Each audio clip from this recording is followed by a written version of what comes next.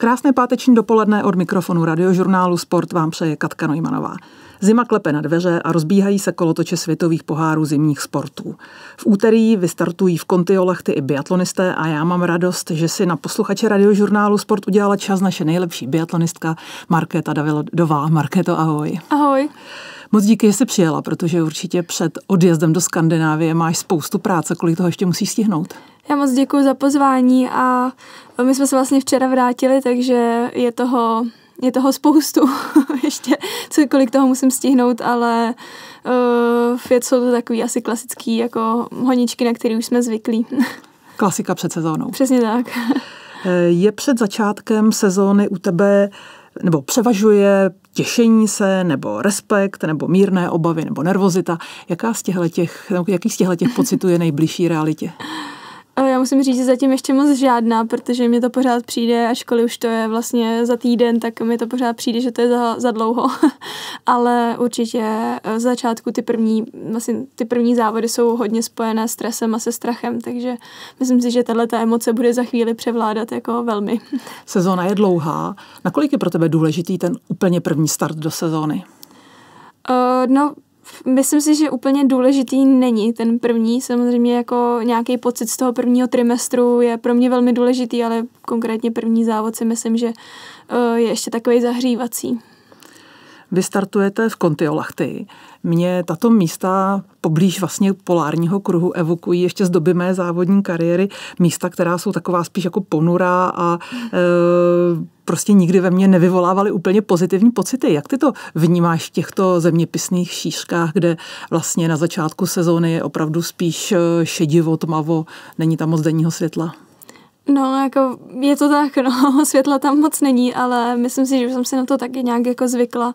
Většinou vlastně i ten první sníh, ta první příprava, na kterou jezdíme, taky bývá takováhle ponurá, takže uh, už si v tom člověk nějak jako tak najede a jenom v tom vlastně pokračuje, takže uh, jako pak jsme určitě rádi, když se vrátíme zpátky do toho Rakouska, třeba, že kde, kde toho světla jako víc a už to vypadá malinko veselejc. Jsi mladá závodnice, ale zkušeností máš už hodně. Jak dokážeš takhle před sezónou zhodnotit stav své formy, to, co máš za sebou z letní přípravy a co ti třeba ukázal začátek eh, tréninku na sněhu? Myslíš si, že už znáš sama sebe? Uh, to je dobrá otázka a myslím si, že bohužel samu sebe ještě pořád jako neznám, že to nedokážu úplně zhodnotit. Na druhou stranu si myslím, že mi to možná občas eh, pomáhá, abych nedělala nějaký závěry tak nebo onak takže uh, vždycky, vždycky malinko jako, myslím si, že nejvíce jako pak ukážou nějak jako ty, ty první závody, nebo prostě těch pár prvních závodů, tak uh, většinou jako ukáže malinko víc, jak na tom člověk je, ale abych to jako zhodnotila před sezónou, tak na to si úplně netroufám. Běh a střelba, to jsou dvě disciplíny, jedna bez druhé u vás nemůže být, ale u které z nich spíš odhadneš, jestli máš formu nebo ne? No, tak já myslím, že se jako mě ví, že jsem eh, lepší jako běžec než střelec, i když eh, třeba v loňské sezóně si myslím, že to tak úplně neplatilo. Ale uh, ty jo. No myslím si, že líp se jako pak odhaduje ta běžecká forma, protože u té střelby je strašně moc jako těch vnějších faktorů, i který člověk neovlivní, takže, takže si myslím, že se to líp odhaduje u té běžecké části. My vy jste během léta měli spoustu výcvikových táborů. Domluvili jste se s trenérem třeba na nějaký konkrétní činnosti, ať už střelecké nebo běžecké, na které budete pracovat významněji nebo víc než v předchozích sezónách, nebo prostě ta příprava je obecná a probíhala podobně jako v předchozích sezónách? Já si myslím, že jako je to spíš obecný a, a probíhá už vlastně dost podobně po, po tu dobu, co tady s náma Egil je, náš jako hlavní trenér. A pak samozřejmě jsou to jako takový menší nějaký cíle, který třeba máme na těch soustředěních nebo, nebo i doma, na kterých se snažíme pracovat, ale nemyslím si, že by to bylo jako něco mm, velkého a zásadního, že to jsou nějaký třeba změny v technice nebo malinký změny jako v poloze ve střelbě a tak, ale není to nic jako konkrétního. Sleduješ během letní přípravy a podzimu třeba přes sociální sítě nebo přes jiné zprávy své soupeřky nebo se zaměřuješ sama na sebe a jsi ráda, že je uvidíš až na startu prvních závodů? Tak některý, některý sleduju samozřejmě, ale musím říct, že se tím moc jako nestresuju asi, no, jako, abych pravdu řekla, tak můj Instagram víc jako převládají, eh, nebo tam převládají tam lidi, kteří jezdí na koních, takže, takže mi tam víc vyskakují koně než eh, biatlon, takže za to jsem ráda, ale samozřejmě pár, pár jako svých soupeřek sleduju. Markéto, pojďme se chvíli bavit o psychologickém aspektu biatlonu. Vysvětli, vysvětli mi tvé pocity při příjezdu na střelnici v rozhodující fázi důležitého závodu. Uh, no tak ideální je, když, eh, když vlastně přijíždíme jako s čistou hlavou a nedělám žádný předčasný závěry z té střelby a jsem vlastně v té přítomnosti a myslím na ty věci, na které mám myslet a ne na, eh, na to, jak to dopadne. Takže to je asi jako ideální stav samozřejmě. A je to v každém závodě jiné, nebo se tyhle ty pocity prostě trénují a snažíš je mít po každý stejné, když uh, přijíždíš uh, vlastně k položkám střeleckým? tak snažím se je trénovat i v tom tréninku, vlastně abych opravdu byla jak myslím si, že fakt důležitý je být přítomný v tom okamžiku, nebejt tou hlavou jako už napřed nebo, nebo pozadu. A trénuju to, nebo snažím se to trénovat i v tom tréninku, ale um, nej, není to vždycky tak jednoduchý, nebo občas to jde jako samo, občas to nejde vůbec samo, takže uh, je, je, je to jako odlišný, každý závod je fakt jiný, i každá položka je jiná.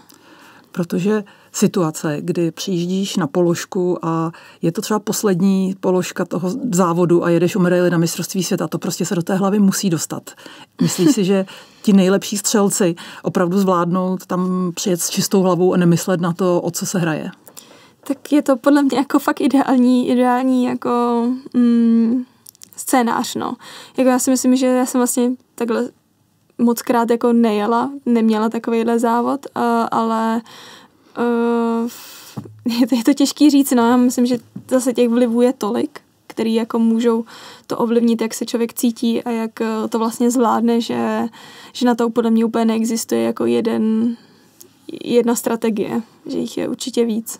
Proč vy biatlonisté, a slyšela jsem to párkrát už i třeba v televizi, říkáte, že poslední položku netrefí jenom blbec?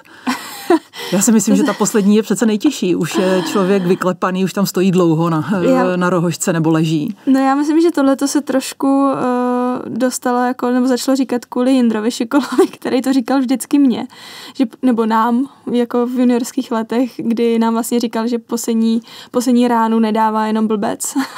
a tak se to nějak jako rozmohlo, si myslím. Takže uh, myslím si, že to za to může jako hlavně on. On se z nás spíš vždycky jako dělal srandu trošičku. Já si myslím, že všichni vědí, že, že poslední rána a, a poslední položka jsou vždycky ty nejtěžší. Pak mě zajímá ještě situace, kdy prostě jednou za čas, bohužel stane se to asi každému, že si třeba na první položce ten závod odpálí, že prostě je tam hmm. těch chyb moc a je v celku dost jasné, že už v tom závodě to žádný velký výsledek nebude. Jak se z té střelnice odjíždí? S jakými pocity do toho běhu? A vlastně dokážeš ty tvoje soupeřky potom ještě vlastně e, nechat na trati všechny síly, když víš, že stejně těch pár vteřin, který třeba najedeš na běžkách, už nerozhodnou a ten nepovedený závod už se mm. už nezvrátí. Tak jako když budu mluvit za sebe, tak já konkrétně se snažím eh, vlastně paradoxně možná o to víc do toho jako na těch lyžích vlastně se snažit je co nejrychleji, eh, abych eh, měla aspoň třeba dobrý pocit z toho, z té běžecké části, když už vím, že jsem pokazila tu, tu střeleckou, abych vlastně mohla si tam najít nějaký pozitivní aspekty toho závodu, no. Ale, ale jako je to, je, jako samozřejmě, že se jede hůř když tam má člověk za čtyři a když tam má za nula, no. To je asi tak, jako tak to je. Neproletí ti někdy hlavou, že by bylo lepší zahnout do týmových boxů a prostě ten závod eh, takzvaně zabalit? To, to, to musím říct, že mě ještě jako nikdy nenapadlo. Že, že jako se vždycky snažím bojovat do poslední chvíle, i když, i když jsem jako střílela dobře, když jsem střílela špatně, že si myslím, že, že to jako úplně nevzdávám předčasně. Co je pro tebe horší, když vlastně se závod nepovede střelecky, anebo že se nepovede běžecky? Z čeho se dá jakoby rychlejc eh, dostat ven, rychleji zvrátit třeba už pro další závod? No já si myslím, že, že asi z té střelby jako rychlejší se dostat ven, i když taky je to těžký, protože no, hlavně když ty závody jsou hodně za sebou, tak tam není prostor pro to uh, se vlastně dostat do, do nějaký té své pohody a, a začít ty věci dělat trošku jinak ale myslím si, že jako když má člověk špatnou běžeckou formu, tak uh, si myslím, že už se to většinou moc jako přes tu sezónu jako úplně nezmění, no. že, že jako když je člověk unavený, tak jako přes tu sezónu tu sílu jako nenajde, si myslím, protože těch závodů, nebo konkrétně u nás je prostě těch závodů tolik, že, že tam není jako vůbec prostor pro to. Dá se nějaká chyba ve střelbě změnit nebo odstranit ten, ta chyba do příštího závodu už?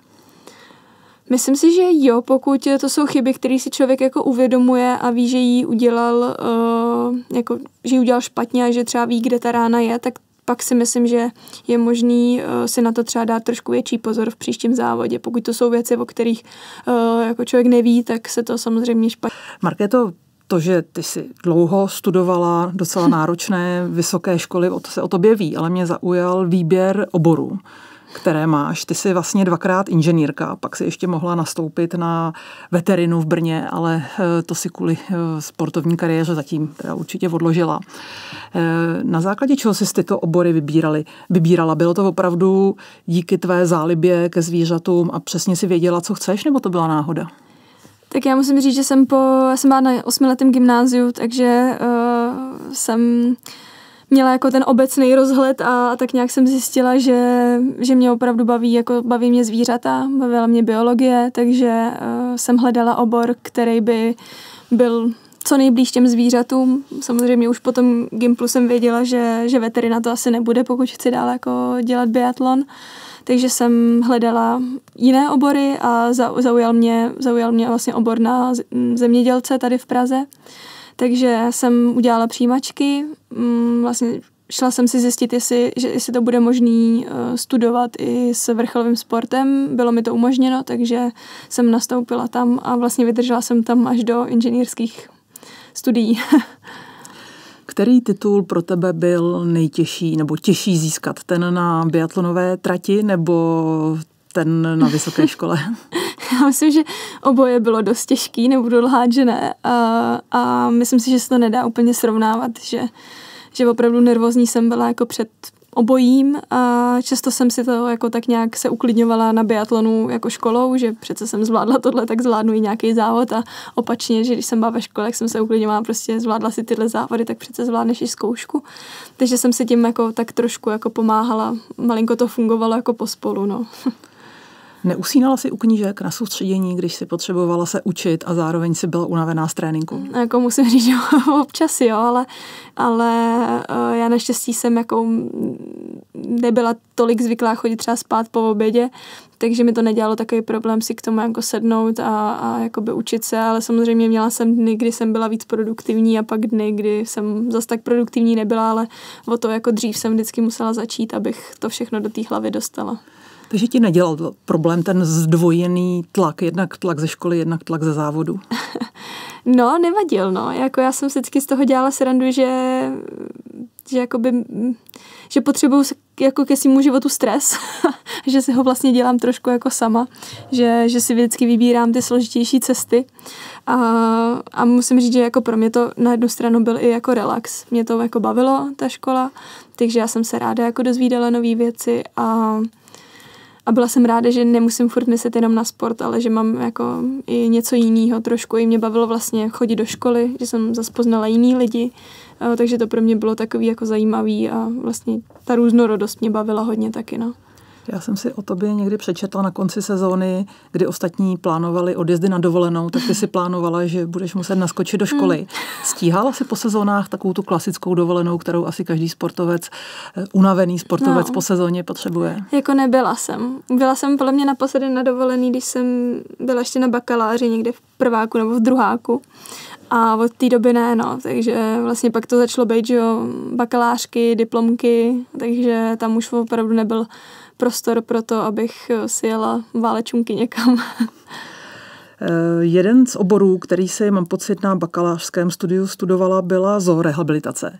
Já si myslím, že klasická rehabilitace je tvůj každodenní chléb, co se týká tvé sportovní kariéry. Eh, nacházela si nějaké spojitosti mezi rehabilitací zvířat a rehabilitací sportovce? No já ještě jenom to uvedu na pravou míru. Ono to se strašně často plete, ale ta zoorehabilitace vlastně není rehabilitace zvířat, ale je to rehabilitace lidí pomocí zvířat. Aha, Takže, tak mě poučila. ne, to bych jako ne, nerada, ale jenom, jo, to aby, aby to uh, bylo vlastně správně řečeno. Takže tam to je trošku jako jiný, ale um, musím říct, že jsem v průběhu toho oboru zjistila, že to úplně není to, co bych chtěla dělat, ale jsem strašně ráda, že jsem tam byla, protože uh, mi to zase dalo trošičku jiný pohled uh, na svět, protože jsem měla možnost uh, být na praxích u uh, vlastně u hyporehabilitace, kde, kde vlastně byly hlavně děti s nějakým tělesným postižením nebo i mentálním, takže to pro mě bylo opravdu uh, jako nechci říct zážitek, protože uh, si myslím, že je to jako hrozně těžký. Poučné to bylo. Jo, přesně tak, bylo to poučný, určitě. Jako otevřelo mi to oči zase trošku jinak. Ještě by mě zajímala situace, když jsi se třeba na pokluce stala mistrní světa a pak si šla do školy na zkoušku. Eh, nezačínaly většinou zkoušky nebo pohovory s vyučujícími nějakými zážitky z tvých biatlonových závodů? Uh, ne, nezačínali. Já si myslím, že jako u zkoušek se mi jako málo kdy stávalo, že by, že by ten profesor věděl, kdo jsem a co Opravdu. dělám. Hmm. Jako myslím si, že pořád uh, ta zemědělka je hodně, hodně zvířecí, hodně rostlina a že ty lidi jsou uh, trošku v jiný bublině než v té sportovní, takže nestávalo se mi to úplně často. Samozřejmě ano, pár, pár jako lidí mi fandilo a hned jim to, hned je to jako napadlo, ale, ale myslím si, že možná i když mě pak viděli jako naživo prostě v, šatech nebo to, takže si to úplně nespojili. Marketo, řekni krátce, co je nového v českém biatlonovém týmu takhle před sezónou? Uh, tak u nás, konkrétně u holčičího týmu, moc nic. My vlastně jsme zůstali dost v podobném složení, jak trenérským, tak vlastně sportovci. Odešla nám akorát Evča Puskarčíková a co se týče klučičího, tam se to jako změnilo vlastně komplet a máme nový servisní tým, takže to si myslím, že je taky velká změna. Ten servisní tým mě hodně zajímá, protože jsem sama na lyžích jezdila a vím, jak důležité je, aby lyže jeli. A tebe loni dokázali na olympiádě v Pekingu hlavně docela taky potrápit. Eh, jak jak seš na tom s citem pro lyže? Poznáš, že ti ty lyže nejedou, už třeba vyrazíš do závodu. Prostě stane se to někdy, stalo se to každému lyžaři. Jak moc ty lyže cítíš pod nohama?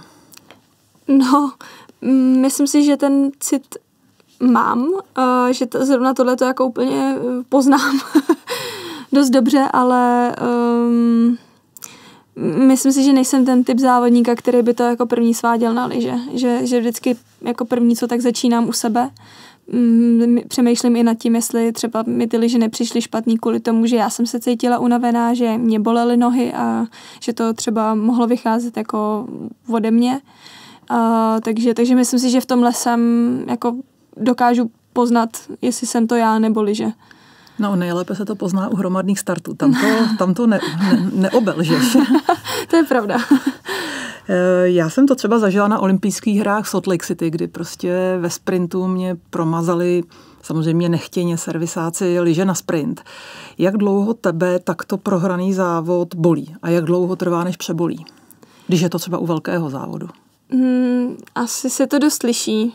Musím říct, že, že dost záleží na různých jako okolnostech, protože přece jenom u nás to ještě taky není úplně jenom o lyžích, ale přesně i o té střelbě nebo, nebo tak, takže dost záleží, jak ten závod třeba byl i rozjetý. A, ale není, není to úplně jednoduchý. Na druhou stranu, když máme hodně závodů za sebou, tak to člověk musí prostě hodit za sebe, protože druhý den je další závod a nová, zase nová příležitost a je zbytečný se tím jako trápit a utápět se v tom. To, že jste občas měli s lyžemi problémy, o tom se v loňské sezóně mluvilo. Eh, byl ten problém ve výběru lyží, ve testování vosku, ve strukturách. Dokážete takhle zpětně třeba zanalizovat, co byl ten největší problém, kde vás tlačila bota? Já si myslím, že to asi byl, byla kombinace všech těch aspektů.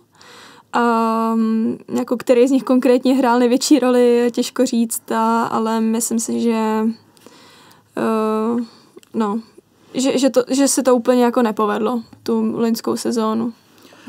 Servisáci jsou prostě členové týmu a i oni dělají určitě vždycky maximum pro to, aby závody dopadly dobře. Jednou za čas se samozřejmě stane, že to dobře nedopadne. Nechci teď z tebe tahat informace zevnitř týmu, ale jak eh, pro tebe je pak těžké se s těma klukama potkat. Když na jednu stranu víš, že oni prostě udělali maximum, ale na druhou stranu se to prostě nepovedlo a odnesl to třeba olympijský závod. Uh, tak já myslím, že spousta těch kluků, kteří uh, byli v tom týmu, tak byli vlastně moji kamarádi už předtím, než uh, vlastně vůbec začali dělat servisáky v, u biatlonu, takže uh, jsem byla schopná se o tom s nima bavit i, i prostě na nějaký normální, o tom, co mi vychladla hlava, taky na nějaký normální úrovni, uh, jako rozumný, ale mm, samozřejmě je, je to jako těžký, na druhou stranu si myslím, že, že jsem pak jako zvládala oddělovat jako tu práci a tady ten nějaký jako kamarádský vztah a řešit to prostě na, na dvou úrovních, no.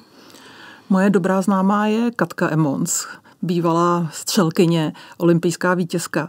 Eh, ona asi teda nepracuje vyloženě s vámi jako s reprezentačním Ačkem, ale zajímalo by mě, v čem mohou takovýto superstřelci, kteří závodili a vítězili na olympiádách, včetně jejího manžela Meta Emonce, pomoci vám, biatlonistům, kteří přece jenom tu střelbu máte spojenou s tou fyzickou mm. zátěží, což oni nemají. V čem oni dokážou poradit?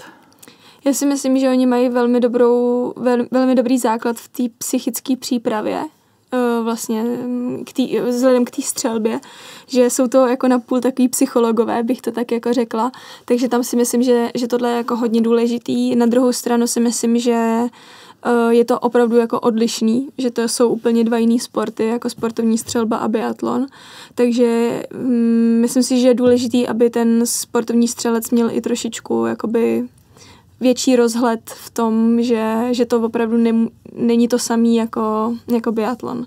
Takže tam si myslím, že, že třeba konkrétně Matt Emmons spolupracuje s, s klukama, s klučičím týmem Ačkovým, takže Eh, ten, ten si myslím, že už jako má opravdu velký rozhled i v tom biatlonu a vlastně ví, jak to funguje a myslím si, že co jsem tak jako pozorovala a uh, bavila se třeba s klukama, tak si myslím, že jsou jako spokojení a že to funguje dobře. Tak ho asi postavili na běžky a řekli, že to zkusí po tom běhu trefit terč. Ne, tak já si myslím, že to je asi v nějakým jako sebevzdělávání a trošičku uh, se na to kouknout i z jiné stránky, než jenom jako z té střelecký. Uh, Markéto, ty jsi zažila naší skvělou biatlonovou generaci s Gabčou Soukalovou, Ondrou Moravce, Michalem Schlesingerem. Uh, najednou tato úžasná generace generace sportovců skončila a vlastně ty si se posunula do pozice lídra české biatlonové reprezentace. Jaké to pro tebe bylo, kdy jsi vlastně byla s nimi a najednou si byla ta, která by měla předvádět špičkové výkony a byla na tebe upřena největší pozornost? Tak já musím říct, že si tak jako nepřipadám, že bych byla lídr eh, českého biatlonu a doufám, že se tak ani jako nechovám. Uh, nerada bych uh, se nějak jako házela do této role a myslím si, že, že vlastně ty sportovci, který jsi vyjmenovala, tak jsou opravdu jako legendy českého biatlonu a že mm, já k ním mám ještě jako hodně daleko a pořád k ním jako vzhlížím. Myslím si, že dokázali skvělé věci, které dostali tenhle sport tam, kde je. A myslím si, že za, za to jim můžeme být jako všichni eh, vděční a, a jsem ráda, že jsem vlastně většinu z nich mohla potkat ještě jako sportovce, že jsem se s nima vlastně v tom týmu potkala. Že si myslím, že to je hodně obohacující vždycky. Vzala jsi si z nich něco pro svoji kariéru? když se mohla být vedle nich? Já si myslím, že určitě jako se toho dá spoustu okoukat. a, a mm, i, myslím si, že i všichni byli vždycky otevření k tomu dávat rady, když, když o ní člověk stál. A na toho si na nich jako hrozně vážím, že, že nikdy se ke mně nechovali nějak uh, jako povýšenecky nebo prostě vždycky, vždycky jako na kamarádský úrovni. A vždycky, když bylo potřeba, tak poradili nebo pomohli. Změnil se hodně ten tým? A teď nemyslím tím, že někdo odešel, někdo přišel, ale uh, musela to být obrovská změna, když takto silná generace během krátké doby skončila. Já si myslím, že rozhodně se ten tým změnil, hlavně kvůli tomu, že tam jsou teď uh, hodně mladší lidi. Vlastně většina týmů jsou, jsou um, jako sportovci, kteří třeba přišli z juniorů nebo ještě jsou v juniorech a zase tvořili vlastně nějakou skupinku lidí s těma ostatníma, že, že vlastně opravdu ta generační obměna se nějaká jako stala a myslím si, že zase ten tým má trošičku jinou, jinou energii. No. Český biatlonový tým je v médiích přes zimní sezonu hodně na očích. Mně se zdálo, že na tobě v předchozích sezónách byla občas znát, nebo bylo na tobě znát, že tě trápí vrtkavost sportovního fanouška, který dokáže být úžasný, ale když se někdy prostě nedaří, tak eh, fanoušci umí být i eh, méně, méně slušní, případně dokonce i některý zlí. Už jsi si na to zvykla? Já si myslím, že na tohle se asi nedá zvyknout, že, že jsou jako lidi zlí bezdůvodně. to si myslím, že, že na to se jako nezvyknu nikdy, ale uh, asi je důležité se s tím naučit jako pracovat, nebo nejlépe vůbec tady ty věci nevnímat, uh, nečíst, nevyhledávat, uh, což samozřejmě se snažím nedělat, uh, ale ne vždycky to jako jde, občas toho je opravdu tolik, že, že to na mě jako vyskakuje prostě ze všech stran, tak je těžký jako to ignorovat. Máš nějakou techniku, jak třeba okolo velkých závodů se odslonit právě od toho, aby si sama na sebe díky fanouškům zvyšovala tlak, eh, například neotvírat telefon, nečíst zprávy. Máš prostě nějaký speciální techniky? Speciální asi ne, myslím si, že jako přesně je asi pak jako nejlepší trošičku omezit tady ty sociální sítě a, a články a, a jako, no, úplně jako to nevyhledávat a když to na mě vyskočí, tak to nečíst. Ale dá se říct, že je ti to líto, když něco takového na tebe vyskočí. Tak určitě mi to je líto, protože mi to kolikrát nepřijde jako spravedlivý a jako objektivní uh, názor. Já si myslím, že jsem schopná přijímat objektivní kritiku, ale kolikrát to absolutně nemá jako s objektivní kritikou nic společného a myslím si, že by to každýho jako mrzelo, každýho, kdo dělá svoji práci naplno a eh, někdo mu pak je schopný říct, že, že ji naplno nedělá nebo že, že to udělal pomalu na schvál, jako, že, že, že jako špatně zastřílel nebo něco. Takže to si myslím, že by jako mrzelo každýho. Snažíš se i vysvětlovat, nebo už si to vzala? no jako občas mám jako tendenci uh, trošičku to uvádět jako na pravou míru, aby prostě, protože nemám ráda nespravedlnost, takže uh, se to snažit nějak jako vysvětlit, jak to je, ale nemá to cenu, takže Ty jsi hodněkrát řekla, že neplánuješ biatlonovou kariéru do nekonečna, že máš i jiné plány, jiné cíle, jiné koníčky. Neušila jsi si tím tak trošku byč sama na sebe, že na konci každé sezóny se ti teď novináři ptají, jestli budeš pokračovat a co další sezóna. Eh, je to už takový rituál trochu. Je, a já už mám takovou rituální odpověď, takže myslím, že, že jsme si kvit, ale uh, já nevím, já na druhou stranu si myslím, že, nebo možná občas mluvím víc, než bych měla, eh, že úplně eh, ne, nepřemýšlím nad těma důsledkama, takže říkám to tak, jak to cítím a možná pak za to prostě musím níst následky typu, že se mě po každý ptají, jestli budu pokračovat nebo ne. Skvělá biatlonistka Markéta Davidová je s námi ještě posledních pár minut na radiožurnálu Sport.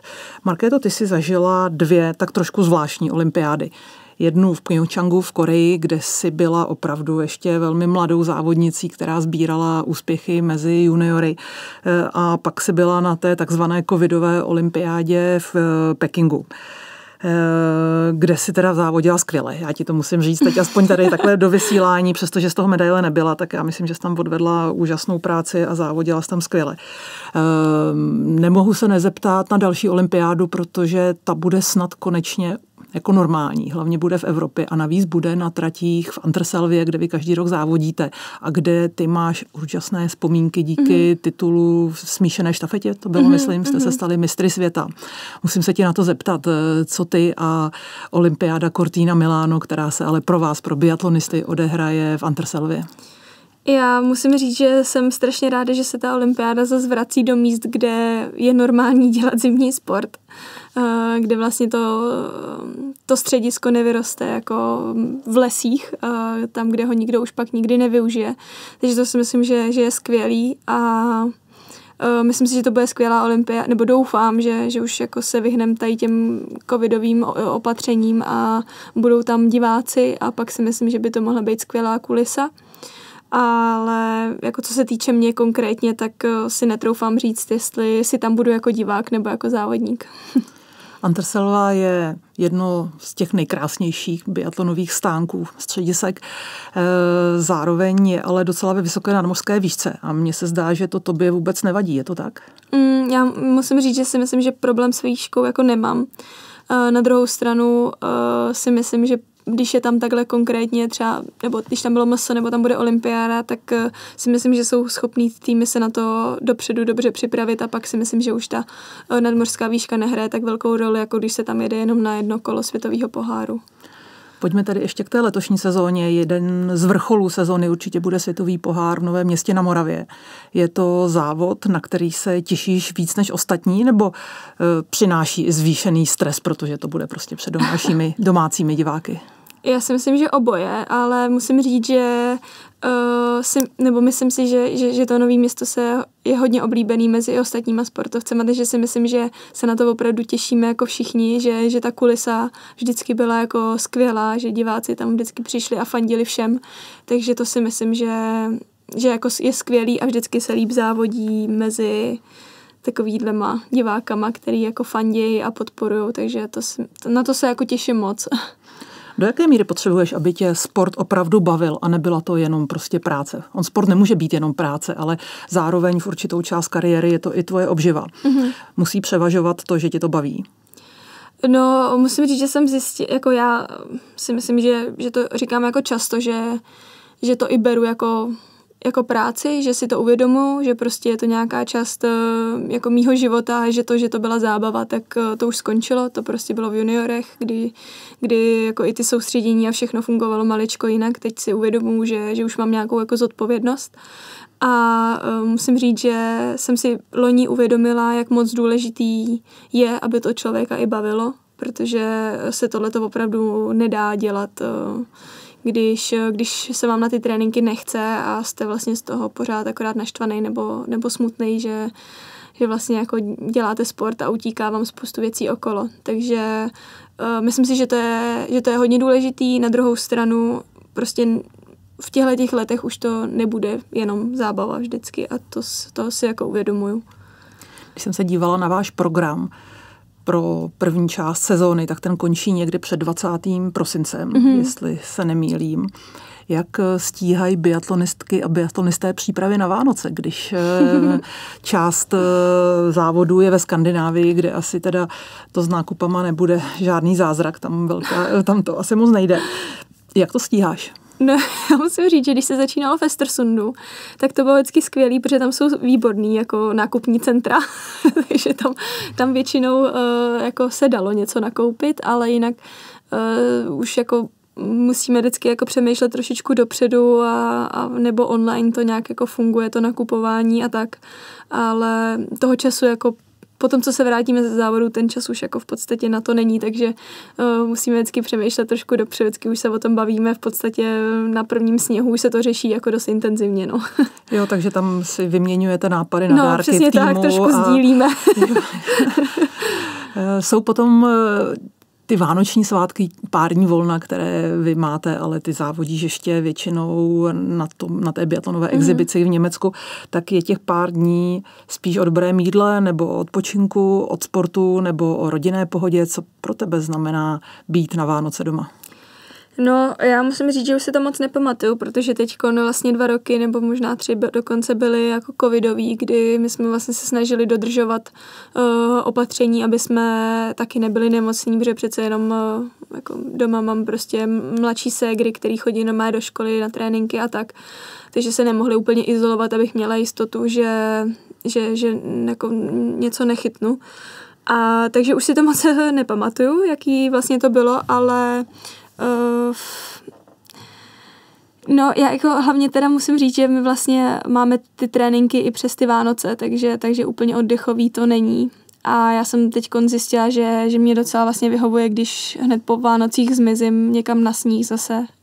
Už i kvůli tomu, že toho sněhu tady moc není v Česku teď poslední dobou, takže uh, pro mě jsou ty svátky takový hodně, hodně jako z rychlíku, no. Pamatuju si to. Páteční finish eh, Katky Najmanové na radiožurnálu Sport končí. Já moc a moc děkuji za drahocený čas před sezónou Markétě Davidové a přeji ti úspěšnou biatlonovou sezónu a hlavně vydrž zdravá. Já moc krát děkuji za pozvání a taky mějte se hezky.